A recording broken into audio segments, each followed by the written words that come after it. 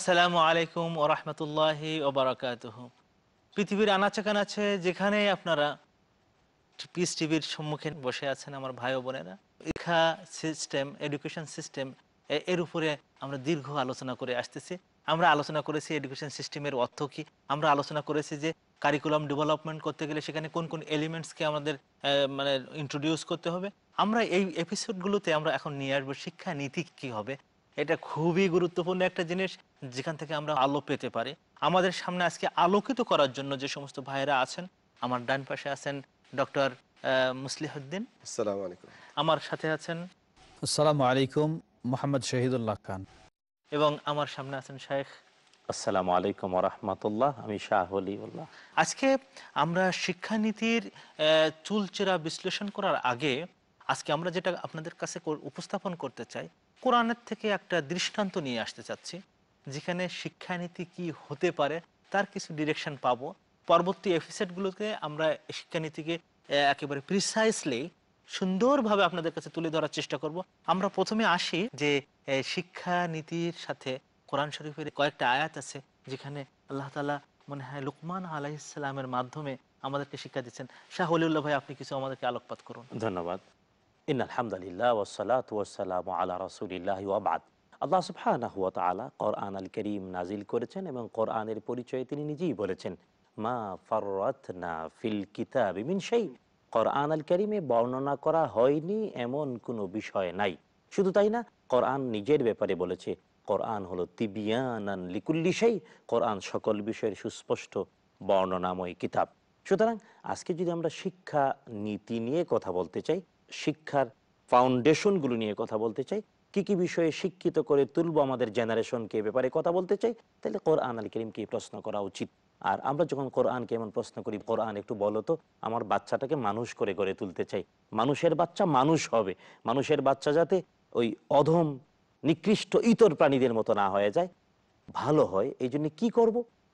রব্বুল আলমিন আপনার আমার এমন প্রশ্নের উত্তরই কোরআন আল কেরিমে নাজিল করেন। যে সুরা, তার নাম লোকমান। তিনি একজন জ্ঞানী শিক্ষক। শুধু তাই একজন মুরব্বী ছিলেন, মুরব্বী। যিনি সন্তানকে তার বিয়া দিয়েছেন, সন্তানকে মানুষের মতো মানুষ করে গড়ে তুলেছেন। পরিবার থেকে শুরু করে নিয়ে বড় হওয়া পর্যন্ত মানুষ করে করে তুলেছেন এমন একজন মুরব্বী। আর এই পৃথিবীর সকল মা বাবার জন্য নমুনা হিসেবে ওই মুরব্বীর বক্তব্যকে রব্বুল আলমী তুলে ধরেছেন সুরাই লোকমানের মধ্যে। আল্লাহ সুফান সুরাই লোকমান এর তেরো নম্বর আয়াত আল করিমা থেকে আমাদেরকে শুনিয়েছেন। লোকমান আলী সালাম একজন আদর্শ মুরব্বী হিসেবে তার সন্তানকে মানুষের মতো মানুষ করে গড়ে তুলতে গিয়ে কি কি বলেছিলেন?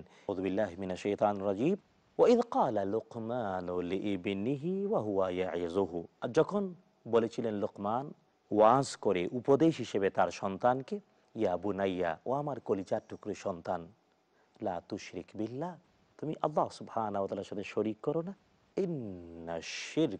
আযীম। নিশ্চয়ই শির্ক হলো সবচেয়ে বড় পাপ, মহাপাপ। এটা হলো প্রথম বক্তব্য।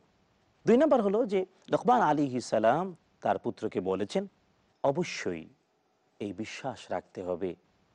হে আমার পুত্র, ইন্নাহা ইনতাকু মিসকাল হাব্বাতিন মিন খারদালিন ফি সাখরাতিন আমার পুত্র, জেনে রাখবা, আল্লাহ এমন ক্ষমতাধর, মহান সত্তা। যদি কোনো কিছু থাকে, মরুর উদ্যানে, মরুভূমিতে, পাথরে, আকাশ আর জমিনে, কোথাও, সব জায়গা থেকে হারিয়ে যাওয়া, লুকিয়ে যাওয়া অদৃশ্য জিনিস নিয়ে আসার ক্ষমতা রাখেন একজন, তিনি আল্লাহ সুবহানাহু তারপর বললেন, ও আমার পুত্র আকিমের সালা সালাত কায়েম করো। তারপর ওয়ামুর বিল মারুফ। ভালো কাজের আদেশ করো। তারপর ওয়ানহা আনিল মুনকার, অসৎ কাজ থেকে নিষেধ করো। তারপর বললেন, অসবের আলামা আসাবাক, সবর করো। তোমার উপর যদি কোনো মুসিবত, বিপদ বা পরীক্ষা এসে পৌঁছায়, হতাশ হয়ে না, পেরেশান হয়ে না। সর্বশেষ বললেন, ওয়ালা তুসায়ের খাদ্দাকা লিন্নাস, ওয়ালা তামশি ফিল আরদি মারাহা। আমার পুত্র মানুষের সাথে অহংকার দেখায় না। আর গর্ব ভরে পৃথিবী উপর দিয়ে কটকট করে হেঁটে যায় না। লোকমান আলী ইসলাম তার পুত্রকে ওয়াজ করে, উপদেশ দিয়ে, আদর্শ মানুষ করে করে তোলার জন্য এই মৌলিক বিষয়গুলো ওয়াজ করেছেন আর রব্বুল আলমিন আমাদের সামনে তুলে ধরেছেন। আমি এক শব্দ যদি বলি, একসাথে বললে প্রথম তিনি বলেছেন, শির্ক মুক্ত হতে হবে। তৌহিদ জীবনের প্রথম বৃত্তি পরিবার থেকে বাচ্চাকে। দুই নাম্বার, আল্লাহ সুবহানাহু ওয়া তাআলার মহান কর্তৃত্ব, তার ক্ষমতার বাস্তবতা। তিন নাম্বার, সালাত কায়েম। চতুর্থ, ভালো কাজের আদেশ। পঞ্চম, অন্যায় কাজের নিষেধ। ষষ্ঠ, ধৈর্য ধারণ করা। আর সপ্তম হলো অহংকার থেকে মুক্ত। প্রথম যে কথাটা বলেছেন, আমাদের শিক্ষা নীতির যে মূল তত্ত্বটা, সেটা হলো তৌহাইদ তৌহিদবাদী হতে হবে শির্ক মুক্ত জীবন গঠন করতে হবে। আমি ডক্টর মুসলিম ভাইকে আমি অনুরোধ করছি যে আপনি এ সম্পর্কে একটু আলোক সম্পাদ করুন। লাইন নবীকে আল্লাহ বলছেন যদি বরবাদ হয়ে যাবে। ধারা রয়েছে? তার মধ্যে একটি হলো আল্লাহর জ্ঞানের সমতুল্য জ্ঞানকে মনে করা। আল্লাহ আলিম, আল্লাহই সর্বজ্ঞ। আল্লাহ যা জান আল্লাহর জ্ঞানের সাথে কাউকে শরিক করা যাবে না।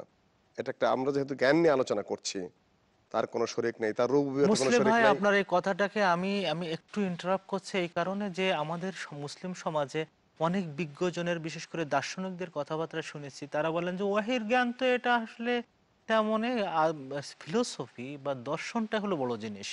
নাউজুবিল্লাহ আমি আপনি ওইদিকে একটু ইঙ্গিত দিয়েছিলেন সেই জন্য আপনি আপনাকে আরও বেশি এলাবোরেট করার জন্য বলছি যে তৌহিদ ভিত্তিক জীবনের জন্য এই এই জিনিসগুলো কিন্তু বড় বাধা হয়ে দাঁড়ায় অনেক সময়। Philosophy feel সোফ। ফিল মানে হলো এই অন্বেষণকারী বা ভক্ত। সফি মানে হলো জ্ঞান। জ্ঞান ভক্ত। জ্ঞান ভক্ত মানুষ যারা সফি জ্ঞান ফিলোসফি মানে হলো জ্ঞান ভক্ত জ্ঞান মানুষেরা যদি আল্লাহ থেকে শুরু না করে তারা পথভ্রষ্ট হবেনি। দার ও তা তারুদুল আকল ও নাকল শাইখুল ইসলাম ইবনে তাইমের বিরাট বই আছে। তিনি ওহির জ্ঞানের সাথে আর মানুষ আকলের জ্ঞানের সমন্বয়ে দেখিয়েছেন বিস্তারিত হবে মানুষ যদি তৌহিদ রুহুর বিশ্বাস না করে যত প্রকারের জ্ঞান অর্জন করুক না কেন, যে কোনো মুহূর্তে সে পথভ্রষ্ট হবে। একটা শুদ্ধ বলবে, আরেকটা ভুল বলবে। একটি সঠিক করবে, আর দশটা ভুল সে করতে বাধ্য।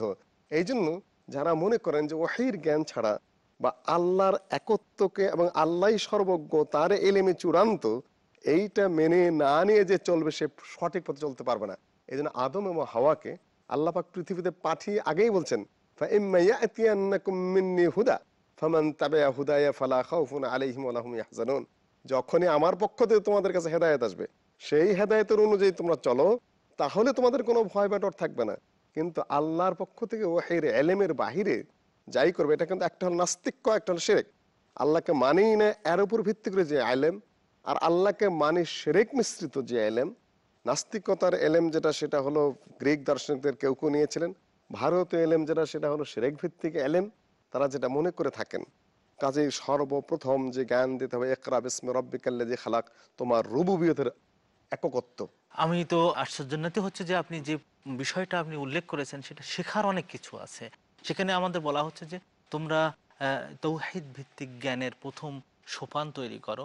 তোমাদের শিক্ষা নীতির মধ্যে তৌহিদ ভিত্তিক জ্ঞান তোমরা নিয়ে এসো। আমাদের ছেলেদেরকে আমরা কনফিউজ করে ফেলি। তারা এথিয়েস্ট হয়ে যায় তারা নাস্তিক হয়ে যায়। কেন নাস্তিক হয়ে যাবে? এসবগুলো আলোচনা করার জন্য একটু সময় তো লাগবে আমরা একটু ছোট্ট ব্রেকে যাচ্ছি। এই ব্রেকের পরে আবার ইনশাল্লাহ ফিরে আসব।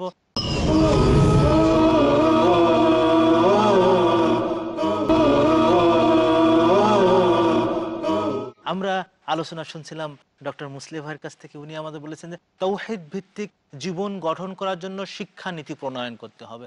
আমরা মুসলিম সমাজে অনেক বিজ্ঞজনের, বিশেষ করে দার্শনিকদের কথাবার্তা শুনেছি। তারা বলেন যে ওয়াহির জ্ঞান তো এটা আসলে তেমন ফিলোসফি বা দর্শনটা হলো বড় জিনিস। নাউজুবিল্লাহ।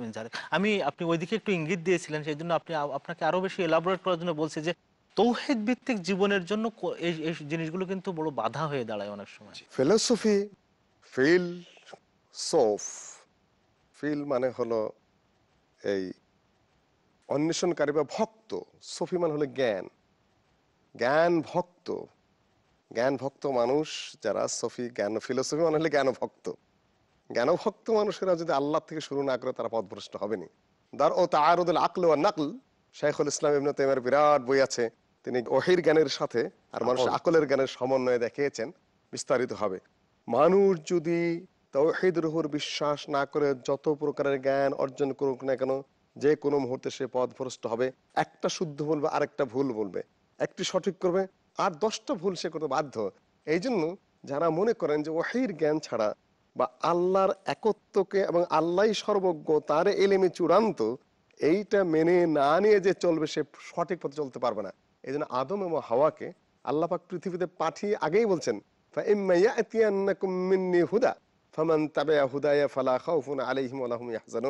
যখনই আমার পক্ষ থেকে তোমাদের কাছে হেদায়ত আসবে, সেই হেদায়তের অনুযায়ী তোমরা চলো, তাহলে তোমাদের কোনো ভয় ব্যাটর থাকবে না। কিন্তু আল্লাহর পক্ষ থেকে ওহের এলেমের বাহিরে যাই করবে, এটা কিন্তু একটা হল নাস্তিক্য, একটা হল সেরেক আল্লাহকে মানেই না এর উপর ভিত্তি করে যে আলেম, আর আল্লাহকে মানে সেরেক মিশ্রিত যে আলেম নাস্তিকতার এলেম যেটা, সেটা হলো গ্রিক দার্শনিকদের কেউ কেউ নিয়েছিলেন। ভারতীয় এলেম যেটা, সেটা হলো সেরেক ভিত্তিক এলেম। তারা যেটা মনে করে থাকেন, কাজেই সর্বপ্রথম যে জ্ঞান দিতে হবে একরা বিসমে রব্বিকাল্লে যে খালাক, তোমার রুবুবিয়তের এককত্ব। আমরা শহীদুল্লাহ খান সাহেবের কাছে আসতেছি। আমরা আরেকটা মূলনীতি লুকমান আলাহিসাল্লামের কাছ থেকে পেয়েছিলাম, সেটা আল্লাহর সার্বভৌমত্ব। আল্লাহ তালা সব কিছু করতে পারেন। যা কিছু আমাদের জীবনে ঘটে, আমি সেকেন্ড ডিভিশন পাই, আমি ফার্স্ট ডিভিশন পাই, আমি কখনো ফেল করতে পারি, এসবগুলো আমাদের জীবনে আসে। বা আমরা ছাত্র তৈরি করতে যে আমরা ফেল করছি, শিক্ষক অনেক সময় মাদ্রাসা বন্ধ হয়ে যায়, যা কিছু হোক, আমাদের জীবনে সব কিছু ঘটতেছে আল্লাহ তালার দ্বারা। এই একটা নীতিমালা আমাদের নিতে হবে, এ সম্পর্কে আপনি কিছু বলুন। আল্লাহ রাবুল্লাহ আলমিন কীভাবে আমাদের সন্তানদেরকে উত্তম আদর্শে গড়ে তুলব উন্নত শিক্ষা দান করব এর নীতিমালা কতগুলি তুলে ধরেছেন। যেটি আমরা শুনেছি, সোরা লোকমানে বেশ কতগুলি নীতিমালা। সেগুলির মধ্যে প্রথম আমরা পেয়েছি যে শির্ক। কখনো যেন তারা শেরকি লিপ্ত না হয় তৌহিদের উপর প্রতিষ্ঠিত হয়। এ বিষয়ের সাথে আমি সামান্য একটু সংযুক্ত করতে চাই। আল্লাহ রাবুল আলমিন এভাবে বলে দিচ্ছেন যে, লোকমান এর ভাষায় বলতেছেন, ইয়া বোনাইয়া, লা তুশরিক বিল্লাহ ইন্না শেরকা লাযুলমুন আযীম। হে প্রিয় বৎস, তুমি কখনো আল্লাহর সাথে শরিক স্থাপনে লিপ্ত হয়েও না, শেরকে কখনো লিপ্ত হয়েও না, কারণ পৃথিবীর বুকে সবচেয়ে বলো অন্যায় হলো, অবিচার হলো শের।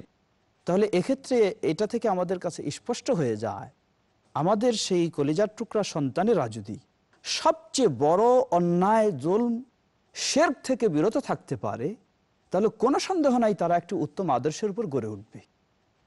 এবং কোনো সন্দেহ নাই, তারা যত রকমের দুর্নীতি, সন্ত্রাসী, সব থেকে তারা মুক্ত হতে পারবে যখন তারা এই মানসিকতা গড়ে উঠবে। এর সাথে আমরা দ্বিতীয় যেই আরেকটি নীতি পেলাম, সেটি হলো আল্লাহ রাবুল্লাহ আলমিনের প্রতি আস্থাশীল হওয়া। সকল বিষয়ে আমার জীবনের কল্যাণ, অকল্যাণ সব আল্লাহ রাবুল্লাহ আলমিনের হাতে। আল্লাহর থেকেই এগুলি সব নিয়ন্ত্রিত হয়। এইভাবে যদি কোনো সন্তান আল্লাহ রাবুল্লাহ আলমিনের প্রতি আস্থাশীল হয় তাহলে আমরা আজকে সবচেয়ে যেই ব্যাধিতে বেশি ভুগছি, সেটি হলো দুর্নীতির ব্যাধি। কোনো সন্তান বা কোনো শিক্ষিত ব্যক্তি যদি আল্লাহর প্রতি আস্থাশীল হয়, যে এর প্রতিদান আল্লাহর কাছে আমি পাবো যদি ভালো হয়, এবং যদি খারাপ হয়, এর প্রতিফলও আল্লাহ রাবুল্লাহ আলমীর কাছে পাবো, এই আস্থাশীল যদি কেউ হয়, তাহলে কোনোদিন তার মাধ্যমে বা তার দ্বারা কখনো দুর্নীতি, অন্যায়, অবিচার হতে পারে না। শিক্ষানীতির মৌলিক দুটো ধারার পরে আমরা তৃতীয় একটা ধারাতে আসি। যেটা আমরা শাহ অলিউল্লাহের কাছ থেকে জানতে চাইব। কেন এটা শিক্ষানীতির সাথে হজরত লোকমান আলাইহিসাল্লাম তার সন্তানকে নিয়ে আসলেন যে তুমি নামাজ পড়ো। সালাত ভিত্তিক জীবন যাপন করো। মোহাম্মদ রসুল্লাহ সাল্লাহ তাল আলী হোসাল্লাম রাহমাতুল্লাহ আলমিন জগৎ সমূহের জন্য রাহমাত। রহমত মানেই হলো আমরা বুঝি অনুকম্পা অনুগ্রহ আর ভালোবাসা। কিন্তু তিনিও বলেছেন সাত বছরের বাচ্চা হলে নামাজের আদেশ করো।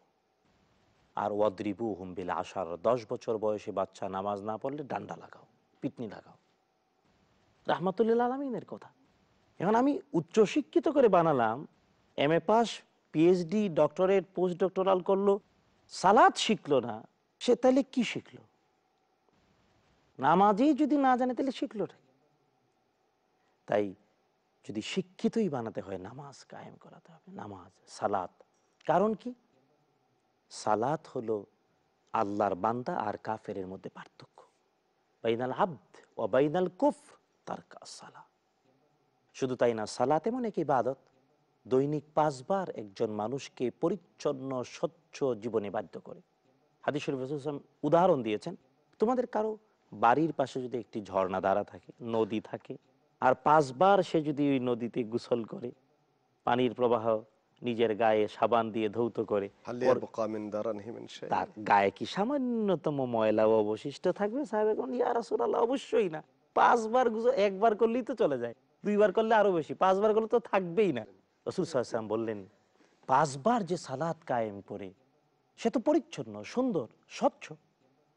শুধু তাই না সালাত এমন এক ইবাদত যে এই পৃথিবীতে এই মাটির পৃথিবীর মাটির নির্যাসের তৈরি মানুষ যখন সালাতে দাঁড়ায়, সে আল্লাহ তাআলার সাথে কথা বলে। সই মুসলিমের হাদিস, আবু বর্ণনা করেছেন কসম নিসফাইন। হাদিসে কুদসি, রব্বুল আলামিন বলেছেন, আমি আমার বান্দার সাথে নামাজকে সমান দুই ভাগে ভাগ করি তো যে বান্দা স্রষ্টার সাথে পাঁচবার কথা বলতে পারে, ওই যে খুব প্রচলিত একটা কথা আছে, এটা বলা হয় আর কি, গল্পের মতো, এটা গল্পই বটে। যে আল্লাহর টেলিফোন নাম্বার জানো কিনা কেউ? আল্লাহর টেলিফোন নাম্বার বলা হয়। এটা যদিও মুখরোচক গল্প, কিন্তু চিন্তার বিষয়। সত্যি? আল্লাহ সুবাহর সাথে কথা বলতে গিয়ে যে বলা হয়, দুই, চার চার, তিন, চার। এটা হলো আল্লাহ সুবাহর সাথে কথা বলার নাম্বার। তার মানে ফজরের দুই রাকাত ফরজ নামাজ, জোহরের চার রাকাত ফরজ, আসরের চার রাকাত ফরজ, মাগরিবের তিন রাকাত এবং এশার চার রাকাত। এই সতেরো রাকাত ফরজ নামাজ, একটি বাচ্চা যে তাকে সৃষ্টি করল, স্রষ্টার সাথে সম্পর্ক রাখতে জানলো না, তো তার জীবনে লাভ? জীবনটাই তো নাই। জীবনের ফিলিংসটাই তো নাই। স্রষ্টার সাথে যার সম্পর্ক নাই, তার তো জীবনের দামই নাই, মূল্যই নাই। সুতরাং নামাজ এমন এক ইবাদত, যা বান্দাকে তার স্রষ্টার সাথে মিলিয়ে। শুধু তাই না, রব্বুল আলমিন নিজে বলেছেন ইন্না তানহা আনিল ফাশা ইওয়াল মুনকার। পাঁচবার সালাদ যদি কায়েম করে সালাতেই তাকে যথাযথ সালাত আদায় করলে সালাত তাকে অন্যায় থেকে বিরত থাকবে। সালাত তাকে বিরত রাখবে। শুধু তাই না দেখেন সময়ানুবর্তিতা আজকে আমাদের জন্য। পাঁচবার নির্ধারিত সময়ে শুধু তাই না আজকের পৃথিবীতে ভাতৃত্বের অভাব আমরা দেখতে পাই। মারামারি কাটাকাটি একই মা বাবার সন্তান হয়ে আমাদের মাঝে দ্বন্দ্ব সংঘাত। কিন্তু সালাত দৈনিক পাঁচবার আদায় করতে গিয়ে সব সুজা করে গায়ে গায়ে মিশে। আচ্ছা আমার মনে হয় শেখ ব্যাপারটা হয়েছে যে সময় আমাদের এত স্বল্প যে আমরা এগুলো নিয়ে আসব, নামাজের ব্যাপারে শুনতে শুনতে তো আমি মোহিত হয়ে যাচ্ছিলাম আপনার কাছ থেকে। তো আমি যে জিনিসটা এখন আলোচনা করতে চাচ্ছিলাম যে, ঠিক আছে, নামাজ এলো এমন একটা জিনিস যে এমাদুদ্দিন যদি কেউ এটাকে একামাত করে, তাহলে সে দিনকে একামাত করল, নামাজ না কায়েম করলে সেই ছেলে দিয়ে কোনো লাভ নেই, সেই বাবা দিয়ে কোনো লাভ নেই। এখন মাঝখানে একটা জিনিস আমরা ফেলে রেখে এসেছি, সেটা আমি এখন লিঙ্ক আপ করতে চাচ্ছি। আল্লাহ রসুল সাল্লাহ সাল্লাম বলেছেন, তোমার ছেলেকে দশ বছর বয়সে নামাজ না পড়লে তাকে মারো। মারার প্রশ্ন এসেছে, কিন্তু আমার জানা নাই যে আল্লাহ রসুল সাল্লাহ সাল্লাম কাউকে কোনোদিন মেরেছেন কিনা। আমি এটাও জানি না কোনো সাহাবি তার ছেলেকে মেরেছেন কিনা। আমি এটা কোনো বইতে পাইনি, কোনো তাবেইন তার কোনো ছেলেকে মেরেছেন কিনা। ইতিহাসে মারা লাগেনি। যখন এটা শুনেছে যে তোমরা ছেলেদেরকে সাত বছর থেকে নামাজ পড়ার আদেশ দাও। আদেশ দাও তার মানে এই না যে আমি ঘুমিয়ে থাকবা, তো বলব, ছেলে, তুমি উঠে নামাজ পড়ো। আমার এক ছাত্র ফজরের নামাজ পড়েনি। জিজ্ঞেস করলাম, কারণ কি? বলল যে, আমার বাবাও উঠিনি, আমার মাও উঠিনি। মারা লাগবে কেন? যদি আপনি নামাজ পড়তেন, সে নিজে নিজে উঠতো। তো এটা কিন্তু বলা দরকার যে, আল্লাহ রসুল মারতে বলেছেন তখন কারণটা কি? কারণ হলো যে, বাবা মা ঠিক মতো শেখাচ্ছে। এখানে ওই মার না। শুধুমাত্র হাত দিয়ে মারতে হবে এমন কোনো কথা না। সুরায় লোকমান এর মধ্যে বর্ণনার ভঙ্গির বাস্তবতায় রব্বুল আলমিন তেরো নম্বর আয়াতে বলেছেন ওয়াইদ ক্বালা লুকমানু লিইবনিহি ওয়া হুয়া ইয়াইযুহু ইয়া বুনাইয়া লা তুশরিক বিল্লাহ রব্বুল আলমিন লোকমান আলাইহিস সালামের কথা তুলে ধরলেন তারপরে মাঝখানে লোকমান যখন তার সন্তানকে শির্ক মুক্ত তৌহিদ তথা একত্ববাদের জীবন শিক্ষা দিলেন রব্বুল আলমী নিজে তখন এটা লোকমানের কথা নয় আল্লাহ বললেন তিনি মানুষকে অবশ্যইনাল ইনসানা বিওয়ালিদাইহি তার মানে লোকমানের কথার মাঝখানে আল্লাহ নিজে কথা ঢুকালেন। আল্লাহ বললেন তার মানে কথা তাফসির করতে গিয়ে ইবনে কাসির অনেকগুলো বর্ণনা দিয়ে আমি পড়েছি। ইবনে কাসির বলেছেন যে রব্বুল আলমিন যেন এই কথাই বুঝাতে চাইলেন আমাদেরকে যে আমরা কোরআনের পাঠক আমরা যারা বাবা হই তারা রব্বুল আলমিন বললেন যে আল্লাহ তো বলছেন ইনতানসুরুল্লাহানসুরুকুম আল্লাহকে যদি কেউ সাহায্য করে আল্লাহ তাকে সাহায্য করবেন। তাই যখন কোনো পিতামাতা তার সন্তানকে তাওহিদ শিক্ষা দিয়ে আল্লাহকে সাহায্য করে। আল্লাহ নিজে তখন তার সন্তানকে বাধ্য করে দেন ওই মা বাবার সাথে ভালো ব্যবহার ভালো সন্তান পাওয়ার জন্য আমরা উদ্গ্রীব কিন্তু ভালো সন্তান তখনই হবে যখন সন্তানকে তাও তাওহিদ শিক্ষা দেব। আমাদের যে সমস্ত সন্তান গড়ে উঠবে তাদেরকে পিতামাতাকে মান্য করতে হবে। শুধু এখানে না সুরাবান ইসরায়েলে আপনারা গেলে তখন দেখবেন যে আমি লিখে রেখেছি যে তোমরা আমার এবাদাত করবে শিরিক করবে না এবং তার সাথে তোমরা পিতামাতাকে মেনে চলবে। এটা কিন্তু একটা ফান্ডামেন্টাল ইস্যু লোকমান যেহেতু বাদ দিয়েছেন আল্লাহ তালা ঢুকাই দিয়েছেন। এটাও কিন্তু আমাদের শিক্ষানীতি থাকতে হবে যে বড়দের শ্রদ্ধা করা পিতামাতাকে মানে মেনে চলা। আমাদের সমাজে এখন পিতামাতারা চিৎকার করে কাঁদে। মা তার সন্তানকে পুলিশের হাতে ধরিয়ে দেয় যে আমার ছেলে সন্ত্রাসী হয়ে গেছে।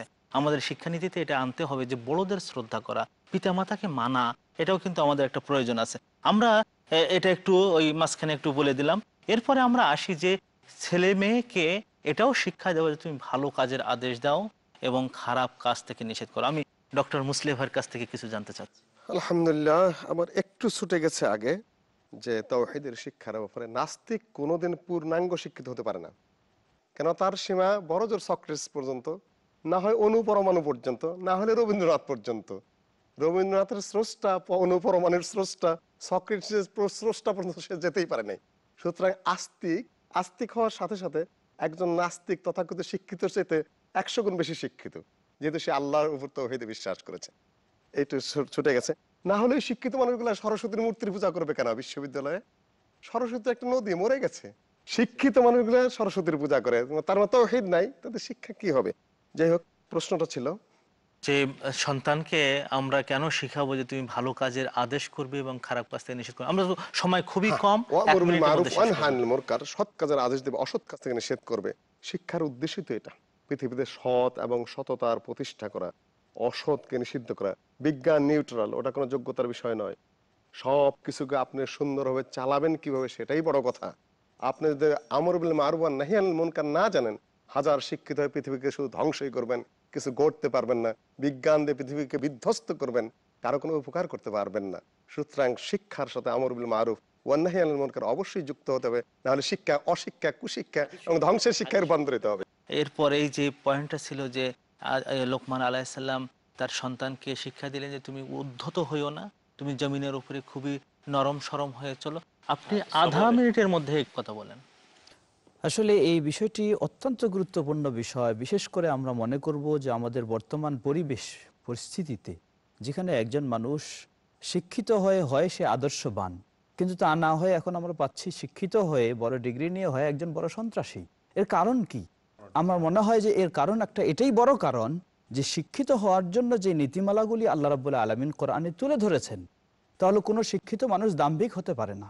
সুন্দর সুন্দর কথা বলেছেন। আসলে সেইটা ব্যাপারটা হয়েছে যে ইসলামী শিক্ষা ব্যবস্থা আমরা মানুষকে তুলে ধরতে পারিনি। আমরা আসলে এটাকে আমরা জানার, বোঝার চেষ্টা করি। সিস্টেমটাকে আমরা গ্রহণ করি। এই সিস্টেমের মধ্যে সন্তানদেরকে তুলে ধরতে পারলে আল্লাহ তাদের প্রতি খুশি হয়ে যাবেন আর তারাও আল্লাহর প্রতি খুশি হয়ে যাবেন। জান্নাতে যাওয়া সহজ হয়ে যাবে এবং ওই সন্তান কিন্তু আপনি মরে যাওয়ার সাথে সাথে আপনার জন্য দোয়া করতেছে এবং তার দোয়াটা কবুল হচ্ছে। আমরা সেই সন্তান গড়ে তুলবো, সেই সমাজ ব্যবস্থা বিনির্মাণ করব, সেই শিক্ষা ব্যবস্থাকে আমরা আমাদের সমাজে ইনশাল্লাহ প্রতিষ্ঠিত করব। আল্লাহ তালা তৌফিক দান করুন। আসসালামু আলাইকুম রহমতুল্লাহ বারকাত